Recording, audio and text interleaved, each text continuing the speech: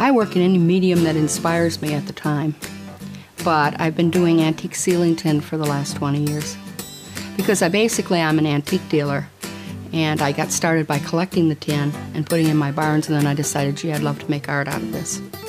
I love the 1890s. I love the Art Deco period.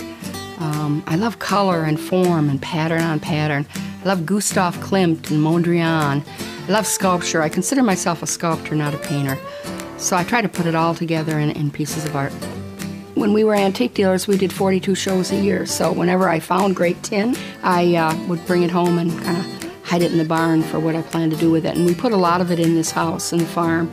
And when people would come from Chicago to buy art from us, they'd say, Oh, how wonderful. Why don't you just take a piece down and, and make me a piece of art out of it? And that's what started the whole career of painting antique ceiling tin its color and its pattern, and I'm doing collages now. I started out doing flat painted pieces where the tin had a pattern, and I would just glaze the tin. Now I'm cutting the tin apart, of course, pieces that are not rare, uh, pieces that are damaged of ceiling tin, and I'm making collages. And uh, I hand mix the colors, I grind my own pigments, I hand mix the colors, and I put on many, many different layers of glaze on each piece and uh, it takes many days, weeks to dry. And so I do all kinds of different things. I, I change my style and what I'm doing about every week.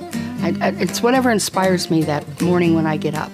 I'm so excited that God gave me another day of life to create. I just get up and say, what am I going to do today? And anything that inspires me, I grab it and say, I'm going to make something out of this. So it's it's uh, it's the whole ball of wax. It's the color, it's the pattern, it's the found objects, it's the size, it's the tin. It creates one whole little environment, a mini garden, some of them are. My name is Lori Daniels, and my art works in Illinois.